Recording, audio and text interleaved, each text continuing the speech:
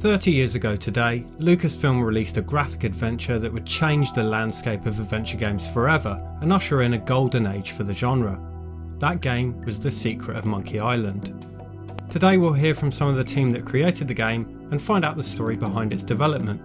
I'm on a retro tip and this is the making of Monkey Island.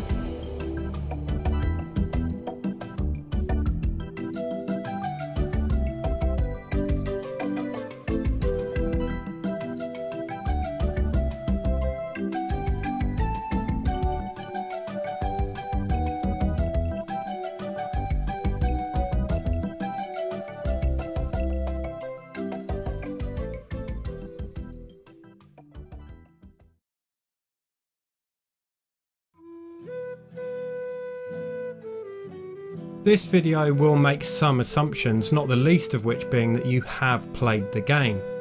This isn't an analysis of the game itself, but rather a look at how it came to be, how it was created, and by whom.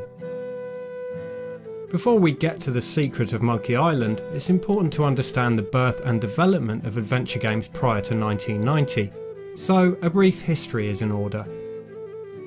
The genre itself, and indeed the very name adventure game, dates back to Colossal Cave Adventure, first released in 1976. This went by several names, including simply Adventure. In these early days, adventure games were what became known as text adventures. The player is presented with small paragraphs of text outlining the story and its developments, and the player responds by entering simple one or two word commands, Text adventures became very popular in the late 70s and early 80s, but it wasn't until 1980 that they became graphic adventures, when Sierra Online, then known as Online Systems, released Mystery House for the Apple II. This was the first ever graphic adventure and, albeit primitive line drawings, depicted an adventure game visually for the first time. This was the birth of the graphic adventure game.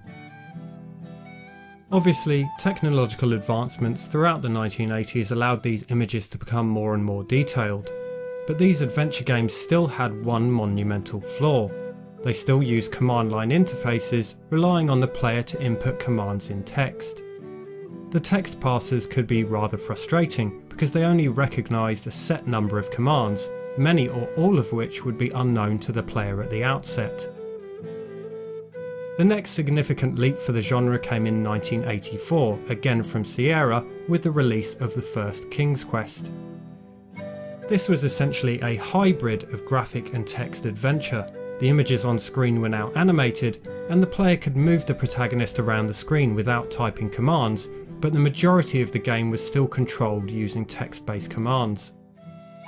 King's Quest saw a slew of sequels in the coming years, and some other very successful entries in the Quest series, including Police Quest and Space Quest. In 1986, Lucasfilm Games threw their hat into the arena with the release of their first adventure game, Labyrinth. Based on the Jim Henson film of the same name, it sought to sidestep some of the frustration that came with these rigid command line interfaces. David Fox at Lucasfilm developed a system using two word wheels from which the player could select from lists of available commands and interactive objects, thus creating an instruction for the character. This was far from ideal, but it was a huge step in the right direction as it eliminated the guesswork synonymous with text-based adventure games. The next adventure from Lucasfilm Games' Maniac Mansion came the following year. Created by Ron Gilbert and Gary Winnick, Maniac Mansion completely flipped the adventure game genre command interface on its head by introducing SCUMM, or Script Creation Utility for Maniac Mansion. This gave the player a selection of available commands like walk to, pick up, open and close. These commands could be selected and then used to interact with objects or characters by clicking on them. This was a revolutionary step forward for the way adventure games would be played. This interface was obviously far more suited to a mouse, and even by 1987 they weren't standard. It wasn't until the PC port of Maniac Mansion that the real advantage of having a mouse became apparent. Lucasfilm Games followed the success of Maniac Mansion in 1988 with their second SCUMM game, Zak McKracken and the Alien Mindbenders. The interface was very similar, although slightly improved, but even at this early stage Lucasfilm were already establishing their style. Their next two graphic adventures were 1989's Indiana Jones and the Last Crusade, the graphic adventure, and 1990's Loom. We'll hear more about Loom shortly. But to understand how the secret of Monkey Island was conceived, we first need to understand a bit more about Lucasfilm Games, and of course, meet the team who would create it. Lucasfilm Games was a subdivision of Lucasfilm founded in 1982. It began making original games for Atari, and all of its games were brought to market by external publishers. It wasn't until 1987's Maniac Mansion that Lucasfilm Games first self-published. The company was small, certainly by today's standards. In fact, that had been George Lucas's only instruction to the studio early on. Stay small and don't lose any money. The team that would work on The Secret of Monkey Island were Ron Gilbert, the concept's creator, he also did design and programming. Ron had previously done programming for a few of Lucasfilm's games, but most notably designed and wrote Maniac Mansion, conceptualised Zak McKracken, and did design for the Indy and the Last Crusade graphic adventure. Ron brought in two fledgling programmers to assist with the programming design and overall story, Dave Grossman and Tim Schafer. They had both recently started at Lucasfilm, being hired in 1989 as SCUMMlets, who would help implement the designer's ideas within the SCUMM engine. They had assisted with bits and pieces for some prior games, but The Secret of Monkey Island would be their first proper project. The art team was made up of Steve Purcell, a cartoonist, notably the creator of Sam and Max, who began at Lucasfilm Games in 1988. He did artwork and graphics for the Indiana Jones and the Last Crusade graphic adventure, graphics for the action game, artwork for Pipe Dream, and did character design and animations for Loom. He'd also designed the cover art for two games, Zak McKracken and Pipe Dream. Mark Ferrari, an illustrator who had done art and animation for Zak McKracken, artwork for Pipe Dream, and did all the background art for Loom. Mike Ebert, another illustrator slash comic book artist. He started at Lucasfilm in 1989 and did actor art for the NES port of Maniac Mansion, artwork for Pipe Dream, and artwork and graphics for the Last Crusade graphic adventure. And Martin Bucky Cameron, who had previously done background art for Zak McKracken, graphics and artwork for the Indy graphic adventure, and had worked on a few other Lucasfilm games. Steve Purcell, Mark Ferrari and Mike Ebert would be responsible for Monkey Island's background art, and Steve, Mike and Martin Cameron would do its animations. The art department was overseen by Gary Winnick, who had co-created Maniac Mansion with Ron Gilbert.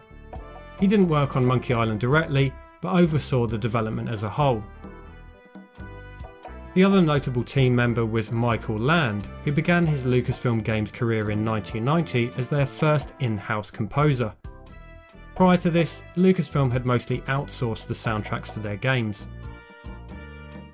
Of course, several other Lucasfilm Games employees no doubt contributed towards the development of Monkey Island, as was the norm at the company. People often did a bit of everything, and it was common for employees outside of a game's development team to lend a hand where needed. Quite a mixture of personalities here. Most of the art team were illustrators or artists outside of the world of gaming, and two of the game's lead designers, Dave Grossman and Tim Schafer, had never taken on such a role before.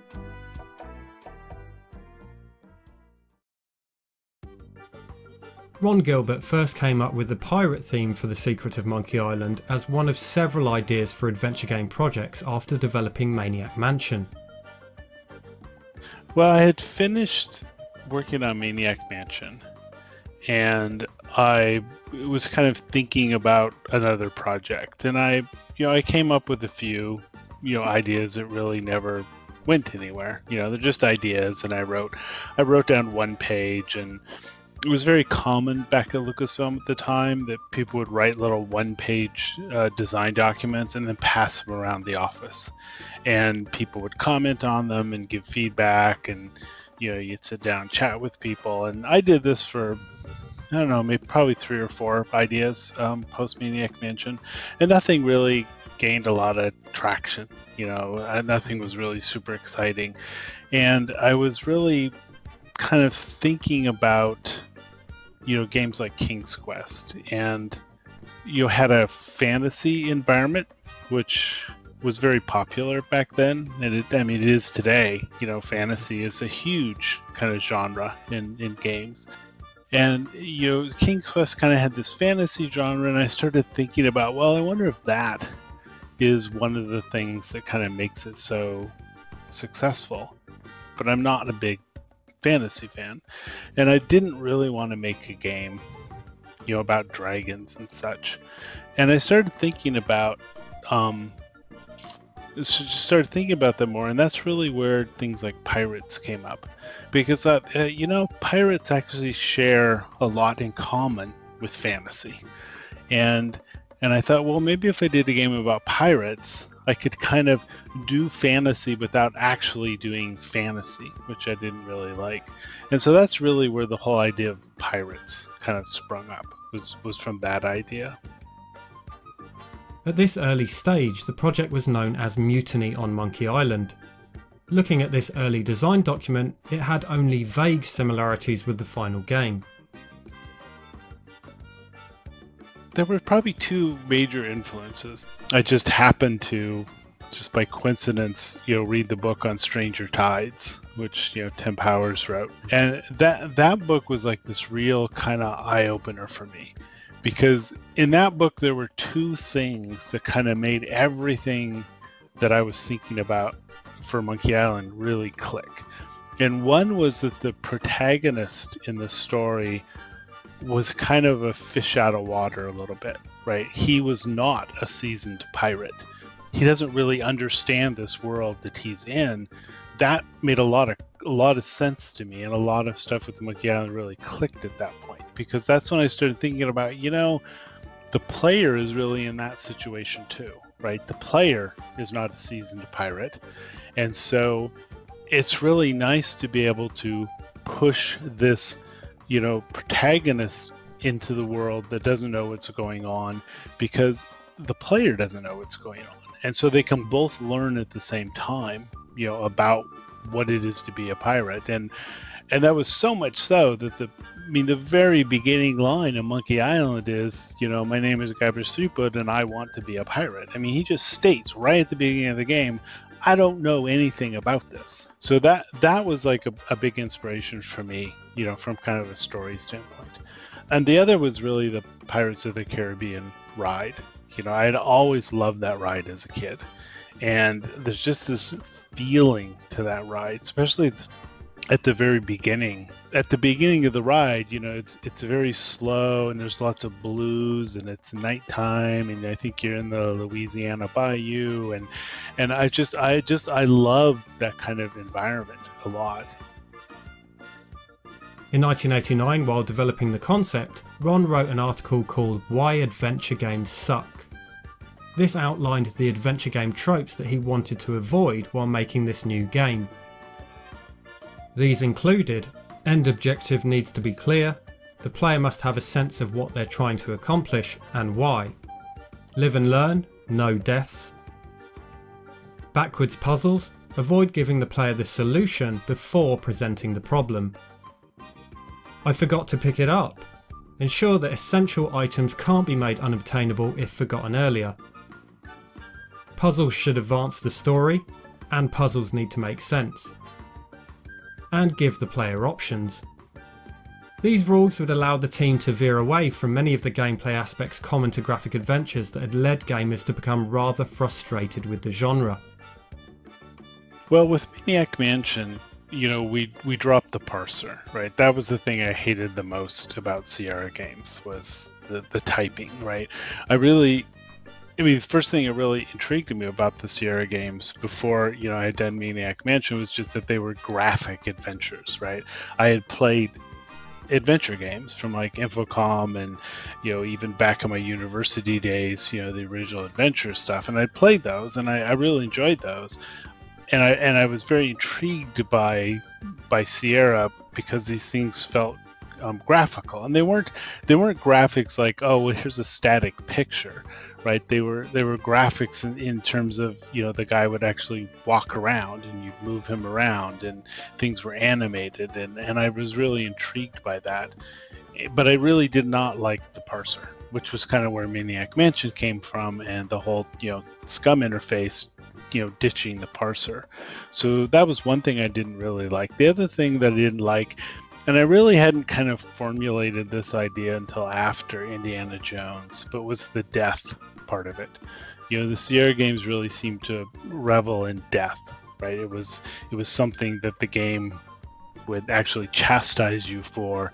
And i always felt like the designers of those games actually took pleasure you know in in setting up a situation where the um, you know where the player would you know would actually die. And there are lots of places in maniac mansion where the player can die and you can get into no-win situations. And kind of post indiana jones i really thought you know i don't think the player should be able to die. You know you should not be able to get into bad situations where you're constantly having to save the game because you're afraid you're going to make a mistake. With monkey island you know at least to some degree, probably mostly, you know, I kind of fixed that issue with that game.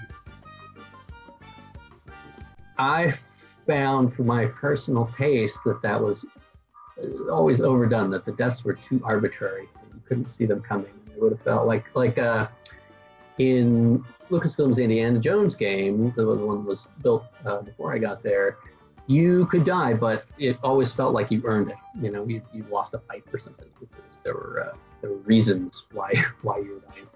Uh, whereas in the Sierra game, you would just you know sort of accidentally click too far uh, on the art, and you would walk into traffic and be run over by a taxi. So that was sort of the I think the big philosophical difference between us, and and we would go out of our way to ensure that we didn't break the fantasy that we never killed you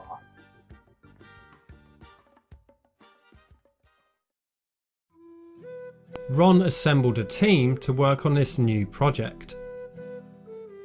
We had hired um, some more kind of programmers, and you know people like Steve Purcell had done a lot of the art for um, for the Indiana Jones game, and so you know I was familiar with him by working on that. And we had also hired um, some new programmers to work in the SCUMM system. I think there were four of them that we had hired.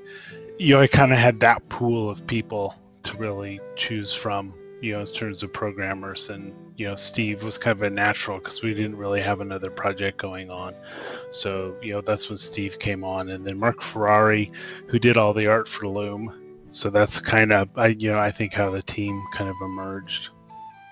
So at some point um, ron gilbert came in he took tim schafer and i aside and said look i'm making this game about pirates and i want you guys to work on it with me what do you say and we said sure what else were we going to say? Of course we said yes.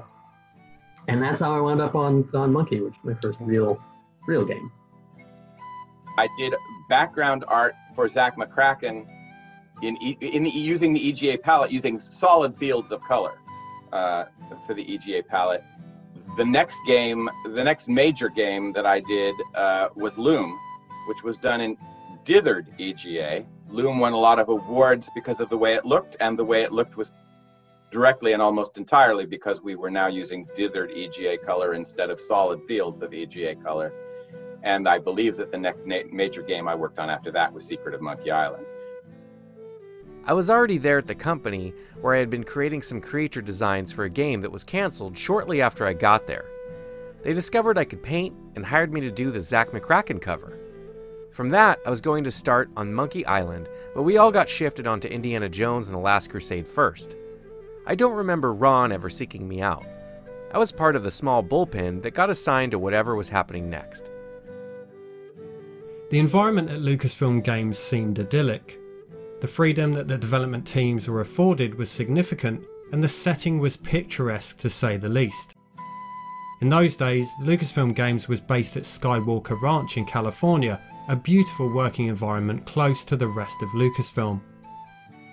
I would drive up to the Skywalker Ranch from Oakland, roll into the gates, maybe start the fireplace in the stable house at the back of the ranch where our offices were, settle in and start drawing in deluxe paint. I can't remember if we would have team check ins every day. Gary Winnick was the head of the art department, so I'm sure we would update with him at some point. At lunch, we'd walk over to the main house, a big white Victorian house where they served an amazing lunch in a gorgeous dining room with an N.C. Wyeth painting hanging above the fireplace.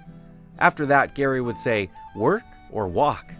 We would usually choose to do a circuit of the ranch, down to the farm area, and back past Skywalker Sound, which looks like a winery, and past Lake Ewok. Sometimes we'd get more ambitious and hike up into the hills surrounding the ranch. In the afternoons, we'd labor at our desks and joke around as we worked. I'm sure Ron would come down and do check ins and let us know what was needed or coming soon. Late in the day, we would start playing one of Larry Holland's World War II games. You could hear the little airplane motor buzz through the cheesy PC speakers.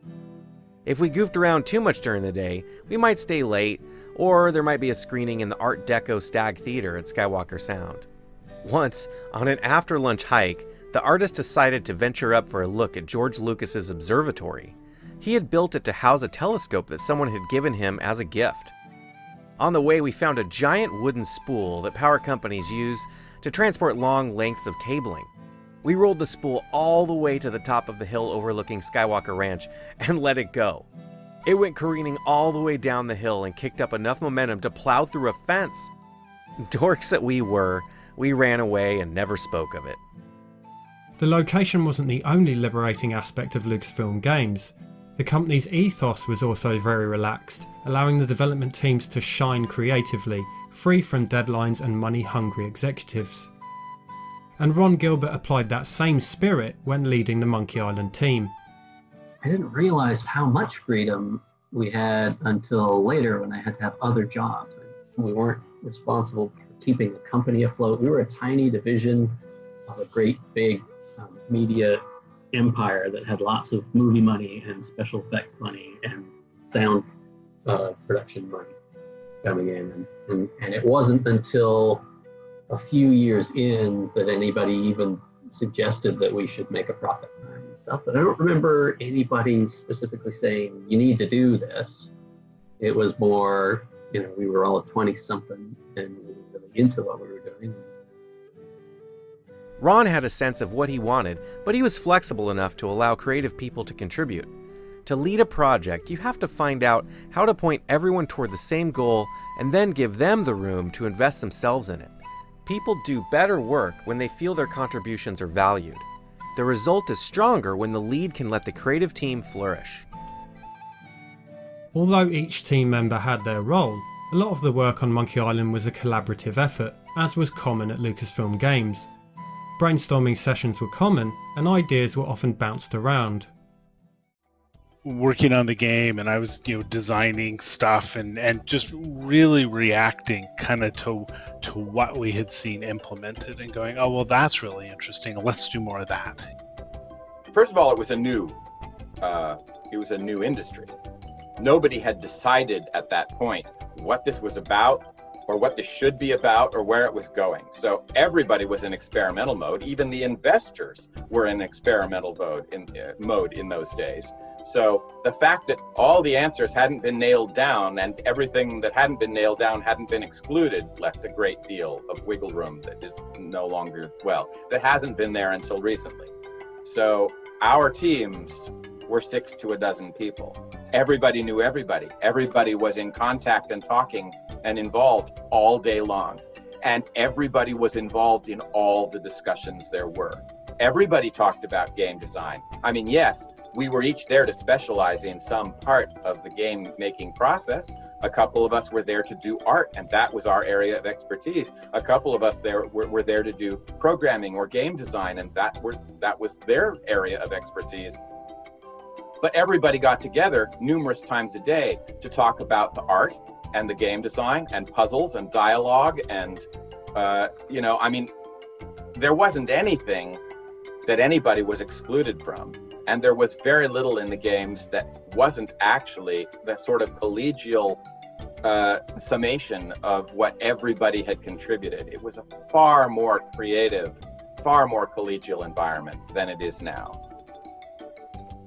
So we would usually spend one or two sort of maybe hour long sessions together, all, all three of us, and maybe with some some visitors too, uh, brainstorming about puzzles, puzzle structure mostly, which is all all wrapped up in story and story structure.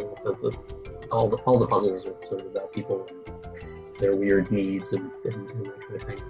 Um, and then we would go off and have responsibilities, and and and Tim and I were mostly doing. Um, we, we were sort of responsible for making a scene come to life, right? So it would be like, all right, you're gonna do the scene with these circus guys, and so part of that was, you know, somebody would draw the art, and but we would have to do some like stage direction, uh, which is like, okay, these guys are going to stand over here, and then when you talk to them, they're going to walk over here. Uh, if, if anybody does any animations during the conversation, we have to sort of say how and when that's going to happen. When developing the puzzles for Monkey Island, Ron, Dave, and Tim made sure to bear Ron's rules in mind. Typically, we would do it uh, what you might think of as backwards, which is think of the goal first and then think of how you would achieve the goal. That would start with story. So, um, usual approach um, is is to sort of take the overall idea for the story and sort of break it down into a few acts. And each act has some kind of a goal that the character is trying to achieve and setting the end of it. And then break down that goal into some sub goals that, that sort of make sense uh, and then take each one of those and break it down into some actions that you take in order to achieve them. Each action that you take should be hopefully something that makes you feel a little bit clever and is sort of a leap of like, oh, wow, yeah, I'm going to do this. Or it's, it's fun in some other way. Uh, and there's there's definitely a a space between telling people exactly what to do and leaving them lost. You have to kind of aim in the middle somewhere where you've got some information, but maybe not quite enough. And the more you poke at it, the more you learn. Then finally you get to a point where you're like, ah, I know what I'm going to do. Bridge this gap. Uh, the, the stuff that I like best now are the things that aren't um, puzzle puzzles, but that, that sort of use the standard interface to do other stuff. So, uh, I mean, there's the insult sword fighting, which which is good, but also you around that you have to puzzle where you have to follow the shopkeeper out into the forest to find the sword master and i thought that was a clever bit of um, subterfuge. And there's there's one puzzle where you have to uh, like the frog is eating through your mugs and you have to keep transferring it from mug to mug uh, as you get there. And I, I, I like those i think just because they're sort of breaking um, breaking the what we have come to think of as the standard mode of adventure game puzzle, which is just use this on that and, and see the reward.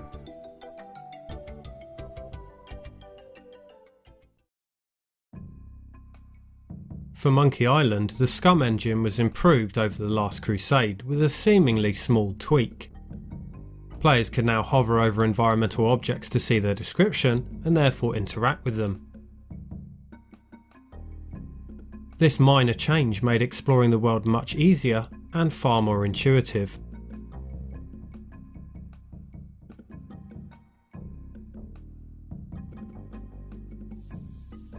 The game was also littered with references and in-jokes, a trend already established in their previous adventures like Zak McKracken. These references included nods to previous Lucasfilm adventure games, Lucasfilm movie properties, and even George Lucas himself.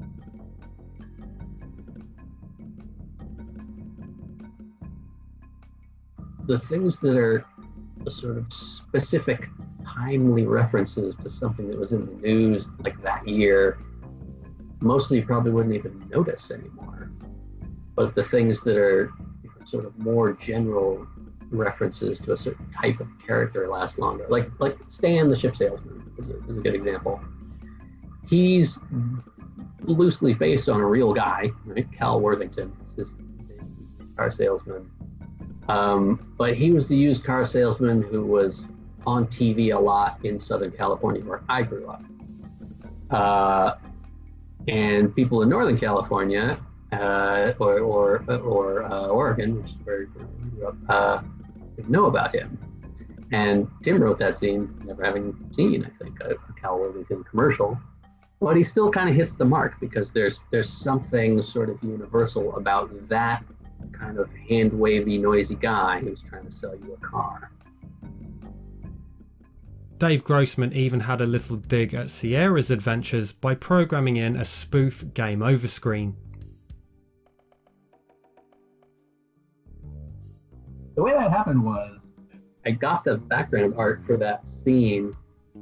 I think Mike Ebert was the one who drew that one. And uh, there was just like a line over at the edge of the of the the, the, the um, piece of rock that you were standing on, and it just looked like a crack, like it was supposed to break. And my first thought was, did I miss a meeting, and is there a puzzle about this that I don't know about? so I just that night I painted a different version of it where the thing had broken off, and I made the piece so that I could animate it dropping down and stepping out there, and and uh, and and put in this whole elaborate thing where the cliff crumbles, but we just make the excuse that there's a rubber tree down there that you bounce off of and you survive, but not before seeing the parody of the Sierra death message come up. Up and says, "Oh, sorry you died." No, haha. This isn't that kind of game. This is a Lucasfilm game. The story and puzzles in Monkey Island were, in the end, very well put together, and the game's sense of humour was light years ahead of anything that had come before. The secret of Monkey Island was such a joy to play because its constituent parts were all exceptional, and the artwork was of course a huge part of this. Even the box art designed by Steve Purcell was striking. For the first cover, we worked with an outside designer for the logo, and I designed the illustration to fit with it. I must have started on it pretty early because I have sketches of a version of Guybrush that's nothing like what he came to be. In the roughs, he was kind of a muscly doofus. I had done the Zak McKracken cover previously, and Ron said he wanted Monkey Island more realistic. That was a stretch for me, but I did what I could with it. In those days, a video game's box art was far more important than it is today. Kids couldn't simply look up a game on the internet to assess its appeal, so sales were made and broken on the attractive box art sat on the shelves. Even the game's copy protection was visually striking, the Dial-A-Pirate Wheel. The game would give the player a composite face made up of two different pirate faces. It would then ask for a specific date to be entered relating to one of several Caribbean islands. An ingenious device and a bit of fun. During a particular rush period to get the game onto shelves, the team were all hands on deck, so it's possible that Dave Grossman himself assembled your Dial-A-Pirate wheel.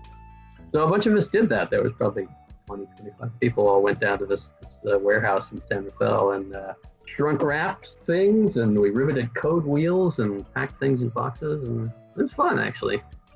It is entirely possible that I riveted your code wheel myself. Yeah. The game's artwork, all drawn in deluxe paint, a program familiar to any Amiga owner in the late 80s and early 90s, was even more impressive. To understand why, we need to rewind a few years.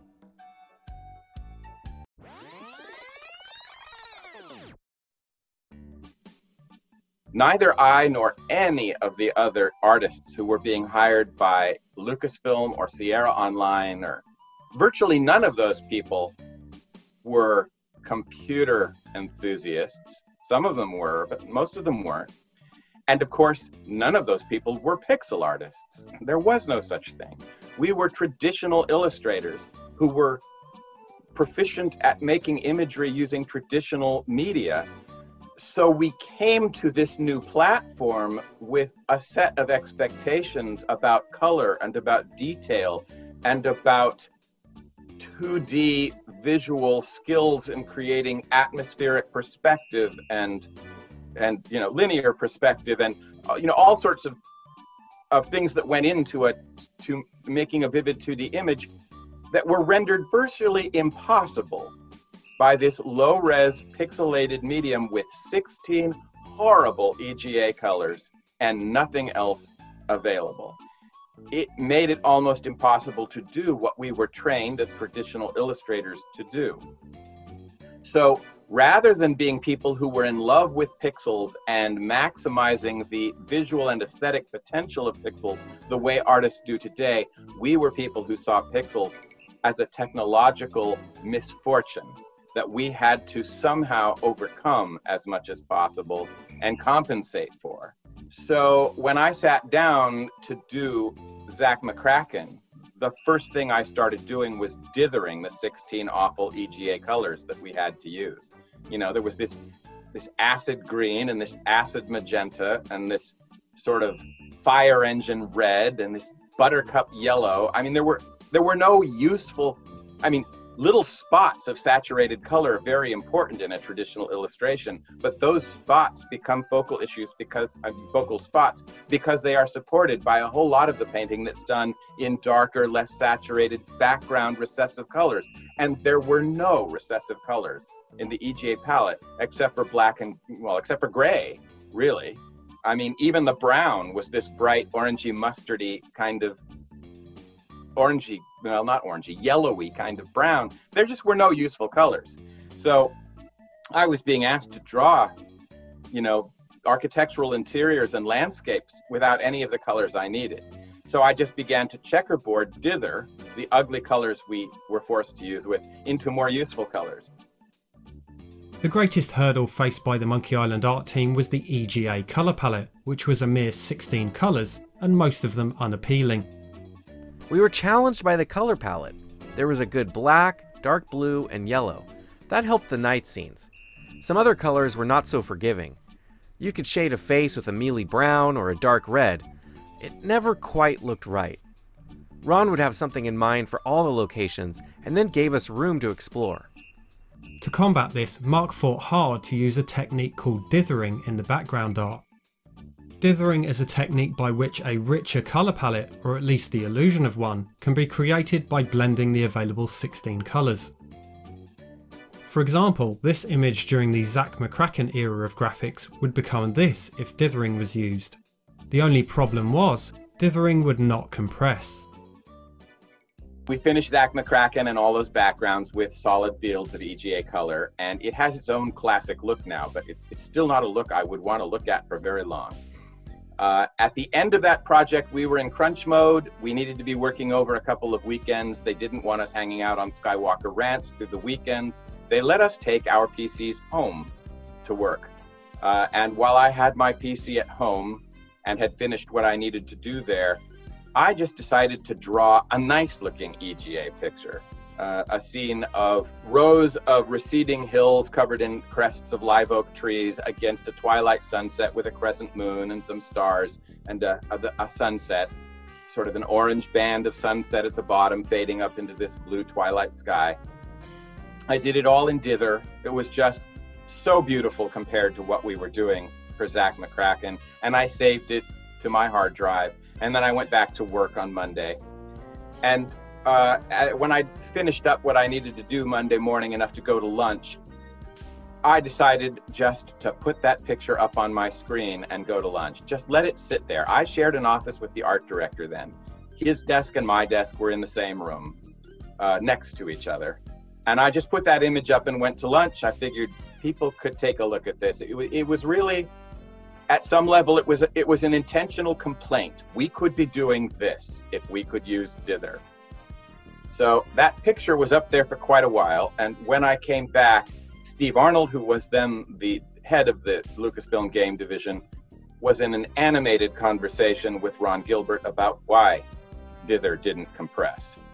And within a few weeks or a month at most, Dither did compress. Um, Ron and his team had made changes to the SCUMM engine that allowed for that. So the result was Loom. Um, I did all the backgrounds for Loom because I was the guy there that understood drawing in Dither. I was in no position to implement the ability to draw in Dither. That was all Ron. But uh, I was the guy who knew what to do with Dither on screen. So Loom was our first attempt at a Dithered EGA game. And it won a lot of graphics awards because at places people thought this was VGA art. And we're very surprised because VGA art wasn't really being used by gaming companies yet at that point. It was all EGA. So that worked out really well. Secret of Monkey Island was the next major game we did after that. And Secret of Monkey Island was, among other things, my doctoral thesis on dithered EGA art. It was where I got to apply everything we'd learned about how to use the EGA palette as dithered art during Loom. So that was sort of the progression from EGA art in Zak McKracken to the EGA art you have in Secret of Monkey Island. The background art was split more or less in three between Mark, Steve and Mike Ebert. This created a small problem. As each artist had their own distinctive style, they sidestepped this issue by assigning each artist their own areas, so it was less noticeable for the player. I was doing most of the background work for Loom. I only did about a third of the background work for Monkey Island, but I did most of the background work for Loom probably because I was the only person there who had ever given a second thought to Dither or wanted to try that yet. Because Loom was the first time we really used dithered art in a game, we did not understand going into Loom what the impacts of that were going to be. Um, but one of the impacts of that, that nobody saw coming till Monkey Island, was that once you were able to get more color choices into a game uh, with Dither, personal artistic style suddenly began to actually be possible visibly on the screen. When we did Zak McKracken with solid fields of EGA color, everybody's art looked the same. It didn't matter whether you were me or Steve Purcell or, you know, uh, Andy Warhol or Vermeer. Your artwork was going to look pretty much like everybody else's because there were so few choices to make about what color to use or how to apply it to the image. Just dithering those colors gave us enough additional choices about color and how to apply it. And at that point, the images that Steve Purcell drew with Dither and the images that I drew with Dither looked like two different artists drawing in two slightly different styles. So all of a sudden, you know, up until then, it had been no problem to have three artists working on a game. It was just going to look like one artist's work, no matter how many artists you had helping. As of Monkey Island, at least, you could really tell the difference between Steve's dithered artwork and my dithered artwork. So for Monkey Island, the way we solved that was we divvied up the different environments and handed them out to different artists. So when it came to Melee Village, I was assigned that and I did all of the exteriors for Melee Village and, and some of the interiors. When it came to the Monkey Village uh, on Monkey Island, that was all Steve Purcell. When it came to some of the other places, it was all Mike Ebert. By assigning all of the images for a single environment to a single artist, that way when people moved from one place to another and this looked completely different it was because we were someplace different now. It wasn't because of hey who drew this? We actually had to disguise those differences in artistic style. They were a liability all of a sudden. Um, but for loom we had no idea that was going to happen i was fine doing backgrounds but mark was able to take them to another level i tended to get assigned a weird or funny subjects or maybe they ended up that way because of how i did them I did the stone monkey head and Stan's dock with the grog machine. I can't remember if the machine was part of the assignment or something I added to make it more fun and anachronistic. I liked working on the big stone monkey head because it's silly, and I like strange stone Zardoz type icons and stories. Dithering wasn't the only technique used in Deluxe Paint to get the most out of the limited palette. Mark also utilised colour cycling, I didn't go in understanding the technology. I didn't go in interested in the technology. I just went in trying to figure out how to make this damn thing do what I wanted it to do. Uh, and as such, I never sat down knowing how to do what I was here to do today.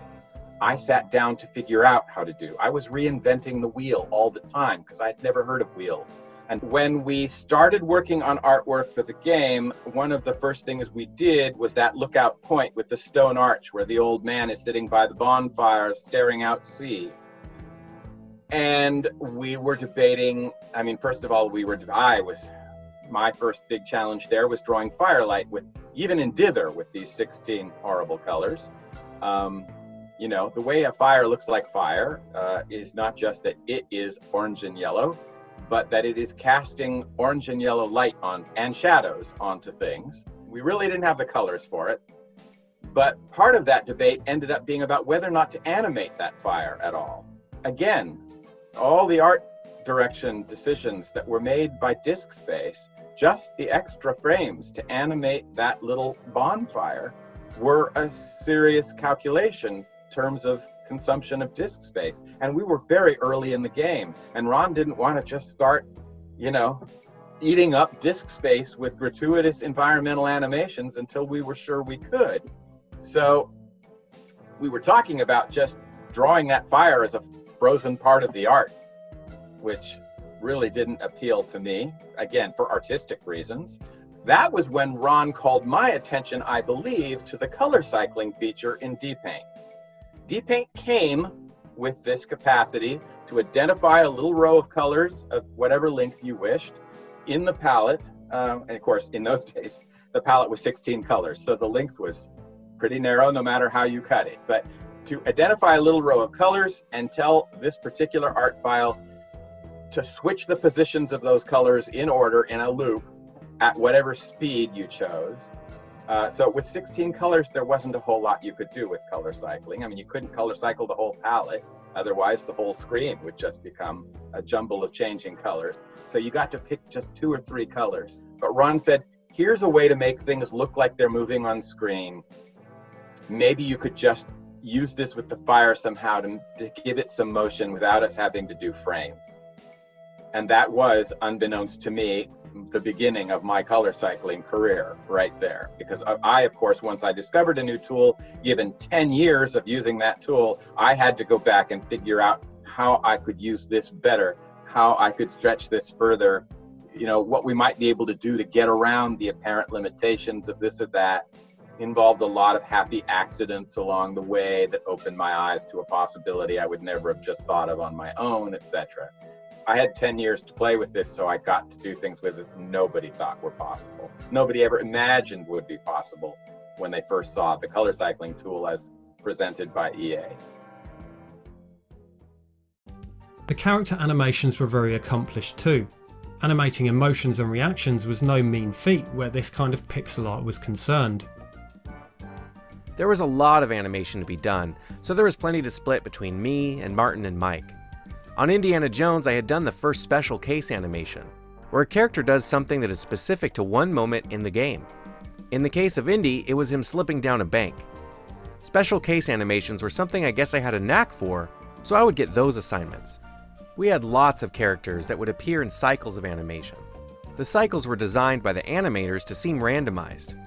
Martin and Ebert were really great at figuring out how to sequence the motions to get the variety so it would feel more spontaneous.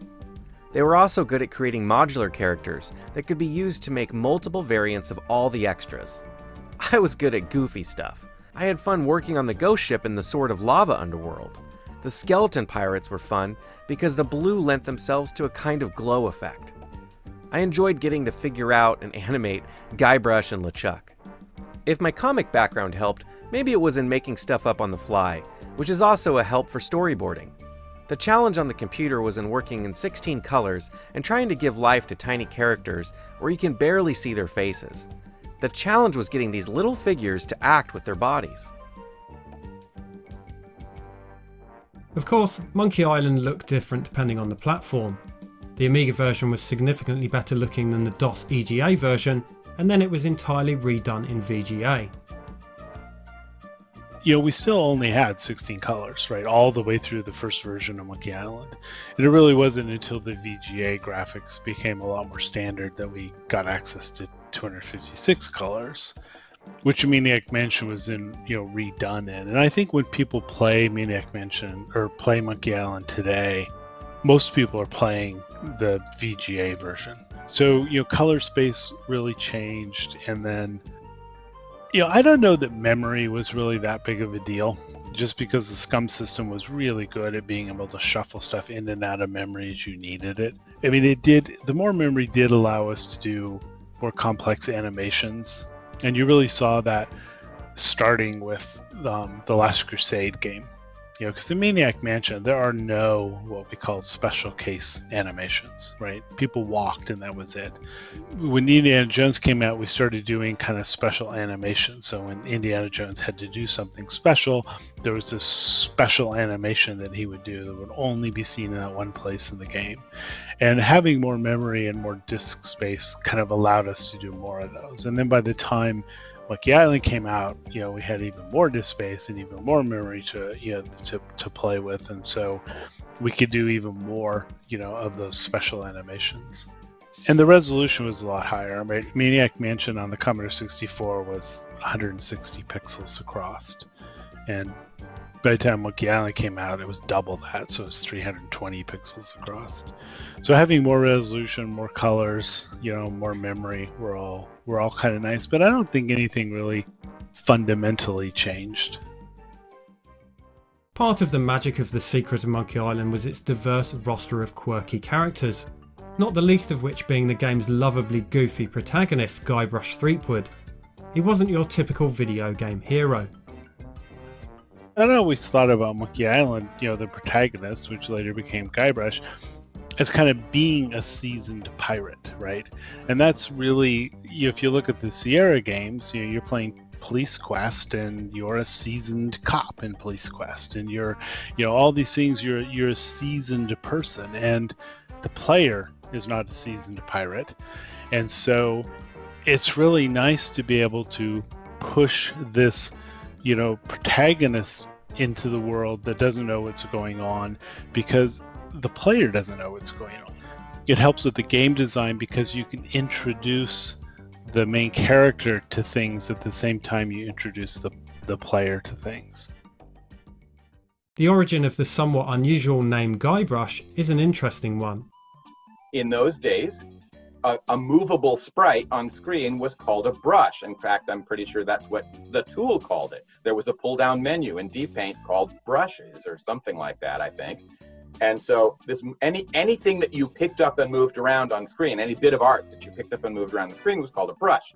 So character sprites were referred to as brushes.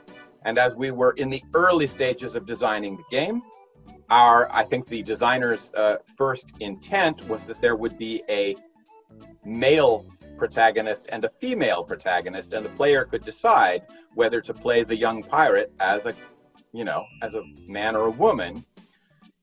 In the end, I think that that alternative was eliminated because we realized it was going to mean a dual set of every protagonist animation in the game and that tiny bit of floppy disk space we had on which to ship the game simply wouldn't accommodate that many animation frames. So, but before we had figured out that there wasn't any way to fit that particular option onto the disks, we were talking, uh, having one of these group conversations about narrative aspects of the game where Ron and Steve Purcell and Gary Winnick and I and Bucky Cameron and a couple of programmers, I don't remember who at this point, we're all sitting in Gary's office just shooting the bull, as we say, um, about all of these things that weren't in most of our job descriptions or areas of expertise, but we were all people with interesting minds, creative people with good senses of humor, and we were all having this thing.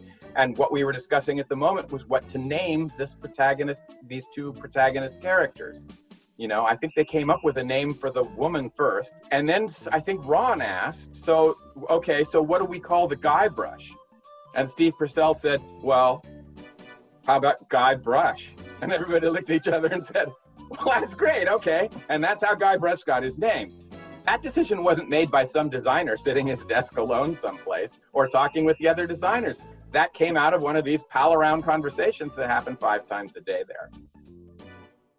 His surname Threepwood came from a P.G. Wodehouse novel, The Brinkmanship of Galahad Threepwood, the other characters are equally well designed, from Guybrush's independent love interest Elaine Marley and arch nemesis the ghost pirate LeChuck, to the supporting cast of down and out pirates and Melee Island inhabitants. Every single character not only has a unique persona and sense of humour, but adds depth to the overall story. Stan, the used ship salesman, Herman Toothrot, the down on his luck hermit marooned on Monkey Island, the list goes on.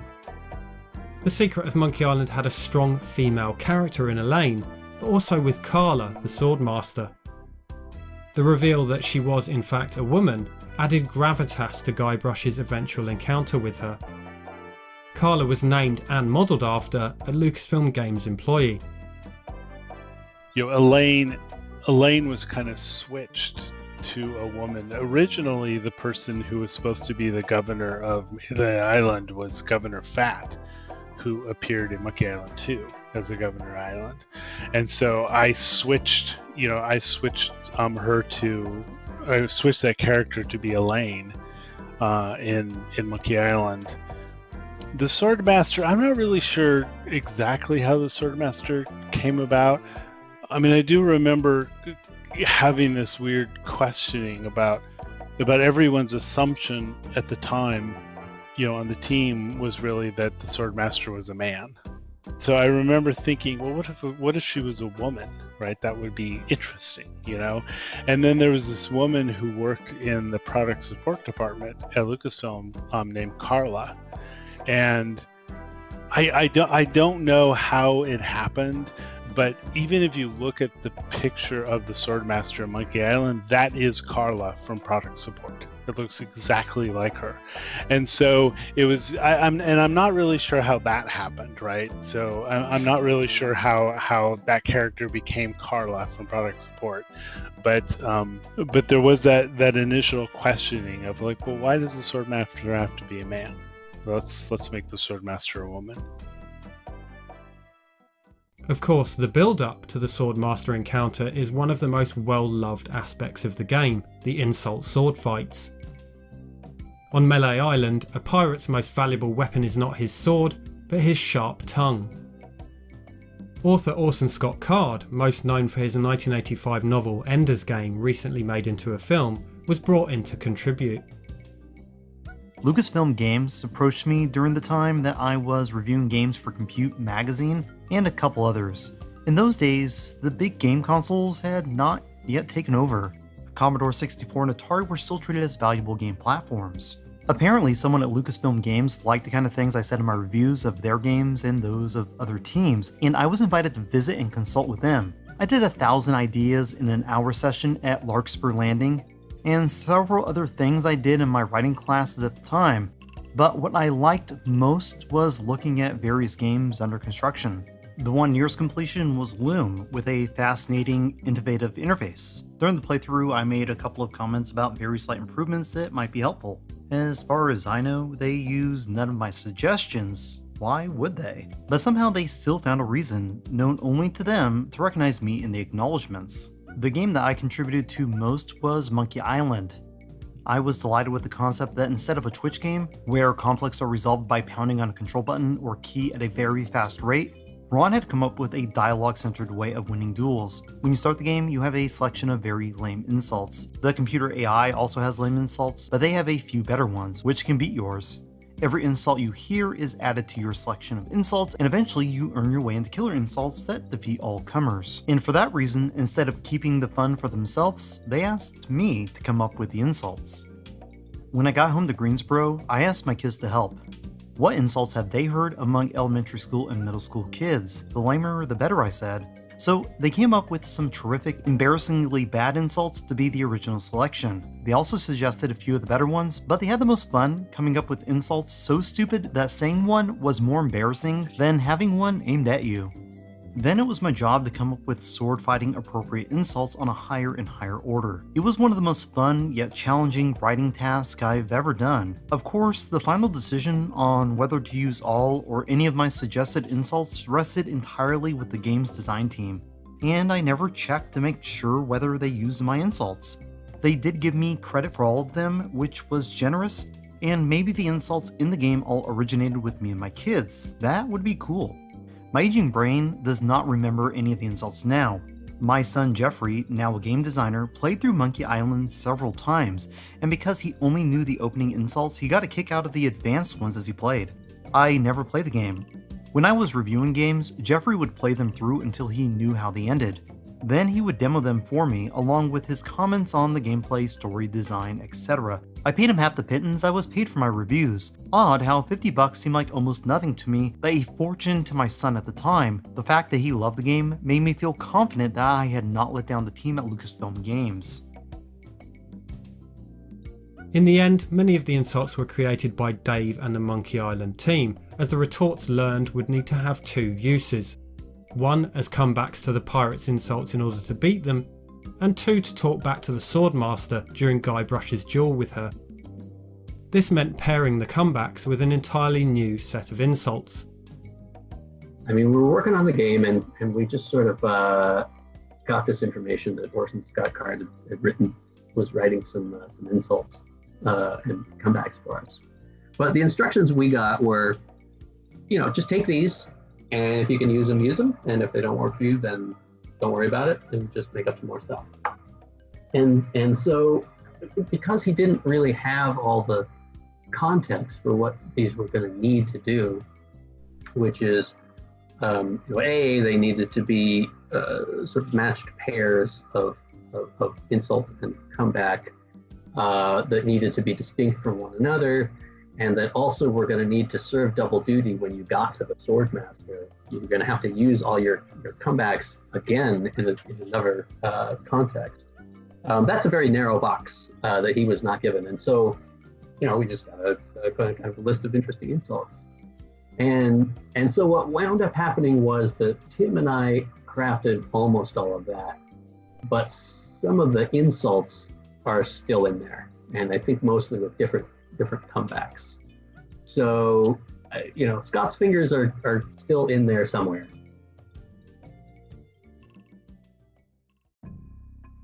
All of Monkey Island's elements blended perfectly to submerge the player in this intriguing pirate filled world, and its distinct soundtrack played no small part in this. The soundtrack's composer Michael Land had started at Lucasfilm Games in 1990. His background was not only as an accomplished musician with experience in creating electronic music, but also as a programmer. Hired as their first in house audio programmer and composer, his first project would be The Secret of Monkey Island. The soundtrack consisted almost entirely of Caribbean inspired music, with many characters and areas in the game having their own distinct theme. He struggled with the music's fluidity, matching the music to the action happening on screen. An issue he went on to fix for the game's sequel with the development of the iMuse interactive music system, but that's a story for another time. The Secret of Monkey Island is undoubtedly a cult classic, a culmination of extraordinary talent, gorgeous artwork, a great soundtrack, lovable characters, an unmatched sense of humour, and most importantly, a well crafted narrative. But what solidified it in the hearts of gamers so profoundly that it's still so admired 30 years on? For some insight on this, let's hear from some of the game's fans. The reason I love The Secret of Monkey Island is undoubtedly the humour. It has to be, and I'm sure lots and lots of people will say this. But for me, it's the humour because I discovered this off the back of playing Sierra's Police Quest, which is as straight laced and as unfunny as a game can be. That's not to say it's not enjoyable. So this was so refreshing when I discovered it. When I fired it up, in fact, before it even loaded into the game, you had things like the Dial-A-Pirate uh, copy protection kit. And of course, as soon as you get into the game, it becomes infinitely quotable. You fight like a dairy farmer, Pete. If for some reason you've never played this game, do it because the graphics hold up superbly, the script writing is a masterpiece, the jokes are still as funny as they ever were, and through the use of something like ScummVM, you can do away with all compatibility problems and you can enjoy this as much as I did the day it came out. The Secret of Monkey Island truly is, in my opinion, one of those games that everybody should play at least once in their life. So, Secret of Monkey Island. Wow. Um, the thing that always comes to mind with this game for me, uh, way back in 1990 when it was released by Lucasfilms, is um, the sheer number of discs it came on. I mean, eight discs I think on the game in, on the whole, and um, you know it was a very innovative, um, very important game. Um, and um, luckily, uh, on my Amiga at the time, I'd, I'd, I'd, sprung out for the extra disk drive, so you could have two discs going at once. but still, eight discs was always um, a bit nervy for me, or any number of discs, because uh, floppy disks were so corruptible. And um, with eight discs, all you needed of, was for one of those discs to um, stop working, and the whole game was ruined. So I remember um, sitting there and hearing the old uh, Amiga whirring away and crunching the disc as they were wont to do, and just hoping the thing was going to load every time. Um, but the game itself, um, the adventures of uh, Guybrush, um, what a great game. Opened things up in a big way for point and click adventures. Hope you enjoy the game should you revisit it. And uh, if you're a retro gamer, you really should. My relationship with Monkey Island isn't the same as most other people of my age. I'd always heard that Monkey Island was good, but I didn't actually play it until a couple of years ago. I'm a lifelong fan of adventure games, specifically, in fact, LucasArts adventure games. I've played The Dig, I've played Day of the Tentacle, I've played Grim Fandango. Obviously, I'd heard of Monkey Island and I was always conscious of its impact on the genre. I knew the music, I'd heard that loads of times before, it's a certified classic. I just kept missing out on playing it. It's one of those classics that you just never get around to. It's like being into films and yet somehow never having seen The Godfather. Anyway, I finally got round to playing it on my old DOS laptop and I was staggered by how good this game is. There's no nostalgia for me here. There's no rose tinted memories of loading up old floppies on my Amiga. This is just straight up great writing, great puzzles, great jokes. The humour, in fact, has survived surprisingly well. It still feels really 90s, but it had me laughing out loud for real. And when you consider that that's me reading pixely text off of a screen with no voice acting, that is a testament to the quality of that writing. There was always this nagging doubt in my mind that Monkey Island wouldn't live up to the hype, that nostalgia was warping people's opinion of this game. I'm glad to say that that is absolutely not the case. Monkey Island is a certified banger, it gets so much right that I don't hesitate to recommend this game to other people who missed out, just like I did. Although a huge success from a technical standpoint, The Secret of Monkey Island wasn't an immediate commercial success. Sierra was still outselling Lucasfilm's graphic adventures by a wide margin, certainly in North America. In fact, most of the team didn't realise it had become such a revered game until much later. We got ahead of marketing at Lucasfilm, a guy named Doug Glenn, and I think he had lived in Europe. I think he lived in Italy for several years, and so he he was always like, "We have to go to Europe. We have to go to Europe," you know. And I think Sierra Online had kind of licensed the King's Quest stuff to I think Activision. It's like the Mm. old Activision, but uh, to Activision, and so I think I think Activision kind of you know had the rights to all of Europe for this stuff. And I think one of the things that Doug Glenn did was he said, "No, we're going to go to each individual country and do deals with distributors in each country. And I think his his philosophy at the time was if we do that, these individual distributors in Germany and Spain and the UK and stuff will have a lot more vested interest in this game because it is a game for their market, right? And I think he was really right about that. And I think I think that's one of the things that kind of made Monkey Island really explode in Europe is is that you know those those deals were not Europe as this big you know giant entity, but it was deals with Spain and deals with France and deals with Germany, and and I think it gave those people a lot more ownership over the title, and I think helped you know help them promote it. I mean, today you release a game and 24 hours later, right? Everyone's playing it and there's reviews everywhere and all that stuff. That wasn't the case back then. You know, we would release a game and it would spend months, you know, in manufacturing, getting hundreds of thousands of floppy disks pressed, and then it had to be shipped to stores, and then, you know, so it was months between when we would finish a game and it would actually come out on the shelves. And and I, I know I was very disappointed in the kind of sales of Monkey Island, but you know, I had started working on Monkey Island 2 just immediately, right? Monkey Island 1 finished, I went on vacation for two weeks, and I came back and I started working on Monkey Island 2. And I do kind of wonder, right, if if we had had immediate feedback on the success of the game, maybe I wouldn't have been allowed to do Monkey Island 2. But I could almost start Monkey Island 2 without knowing how well Monkey Island 1 did. And so maybe that was a, a kind of blessing in disguise.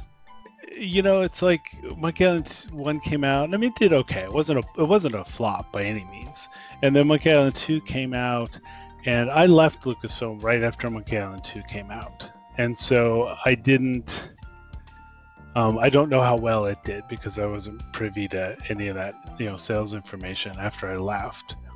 There were two games I did, and they were fun games, and I was very proud of the games. But at that point, I started Humongous Entertainment, and that was really my focus, right? Which was making these adventure games for kids. And I kind of, in some ways, forgot about Monkey Island. And it really wasn't until probably 2003 or 4 when I started my blog and I started doing blogging stuff, and there were just just throngs of people would come to my blog. And that was actually a little bit of surprise for me. And I'm like, well, I'm like, yeah, and that was like, you know, 10 years ago. Why are you still playing it? And and that's that's when I kind of personally realized what an absolute cult following, you know, that those two games had was was when I when I really when I started my blog and I started interacting with people and you know, I made a couple of you know trips to Europe just as vacations and stuff, and I thought, oh, it'd be fun to do little meetups with people, and just the sheer number of people that came to those meetups, right, just blew me away.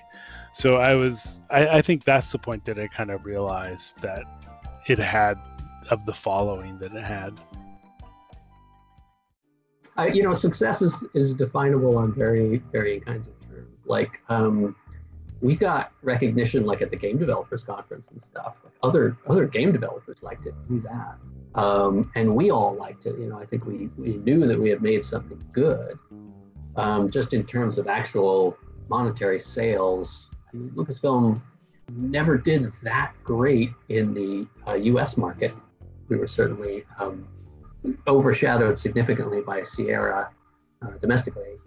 Uh, but we did have a lot of European fans. We go there. You know, that was like a significant uh, portion of, of, the income we got from it was Europe. And I, I, you know, I mean, I, there's there's no particular moment where I was like, oh, hey, this is a this is a success. This is a failure. I guess I always felt like it was a success, um, mm-hmm. just because it it came out, which is I didn't realize even how unusual that could be until much later in my career.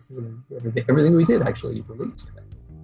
Uh, it came out and and people played it and we got fan letters and you know the people seemed to like it. And I didn't um, I didn't have a lot of uh, insight or interest into what were the financials of you know how much do we spend on this how much were we making. That was somebody else's job.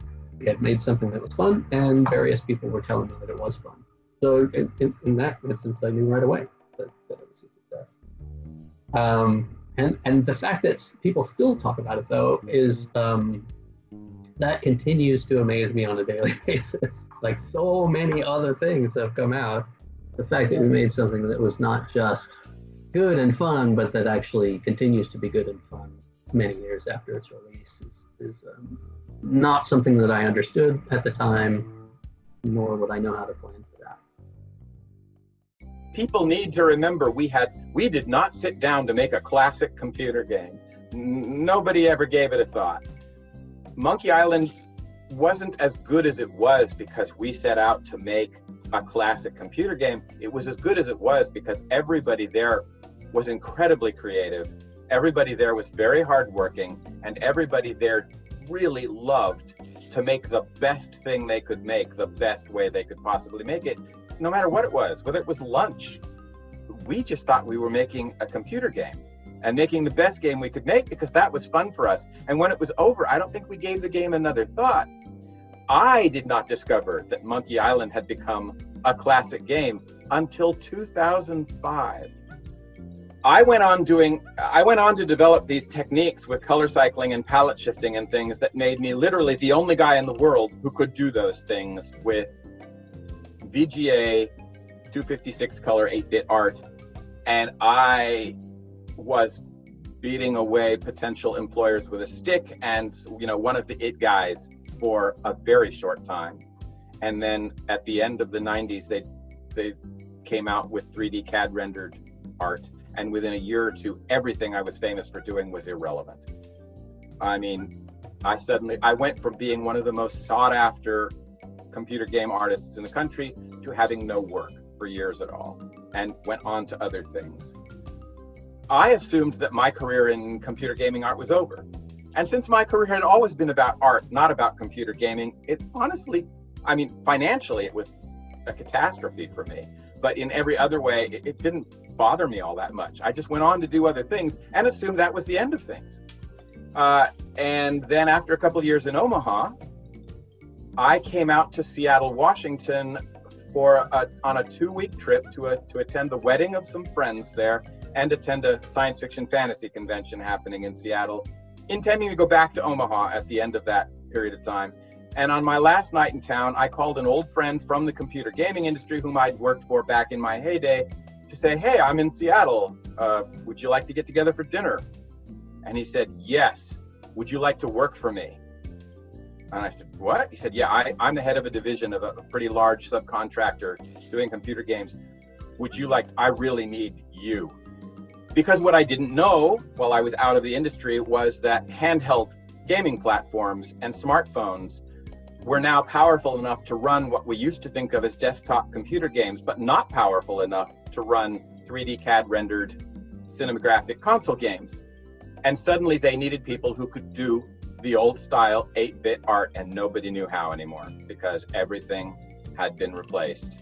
So I started doing this work again all of a sudden. And on our first day at this new company, Steve was walking me around from cubicle to cubicle, introducing me to all of these. By then, I was in my late 40s, introducing me to all of these 20 something year old artists, pixel artists. Hi, hi, this is a new guy working for our company. Today's his first day. I just want to introduce you. His name is Mark Ferrari.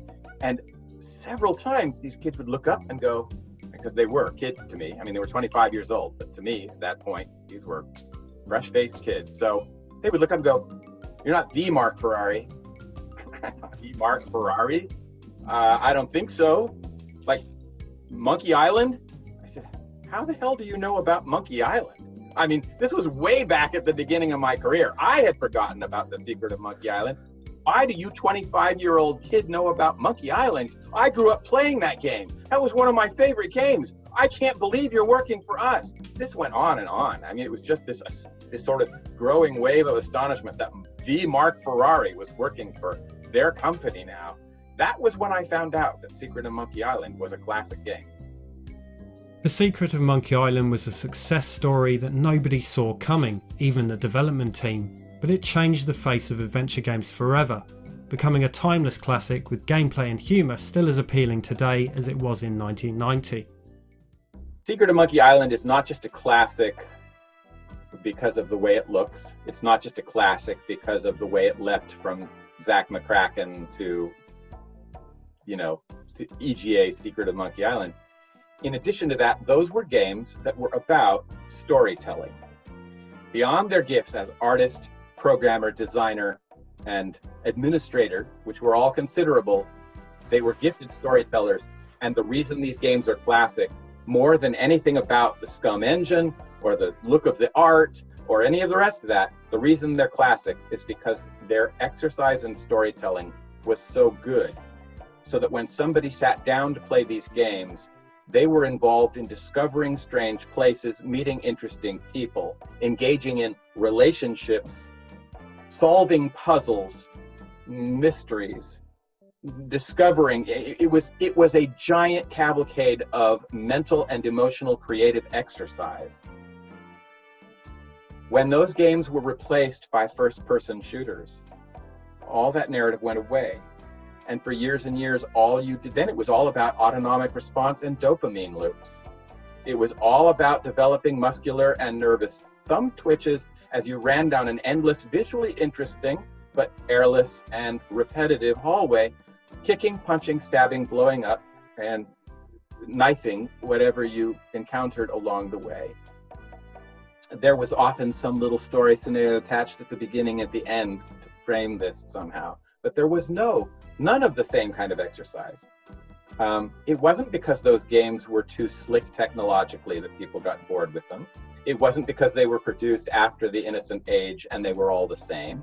It was because they weren't doing the thing. They weren't doing the thing with your brain and your creativity that adventure games had done before. They weren't storytelling games. People don't understand that their entire existence is storytelling, but it is. And that, once you understand that, a whole lot of other things fall into place in very different ways than they do for people who think it's all about some objective or mechanical aspect or approach. It's the secret of Monkey Island. Perhaps that is the true secret of Monkey Island. Thanks for watching.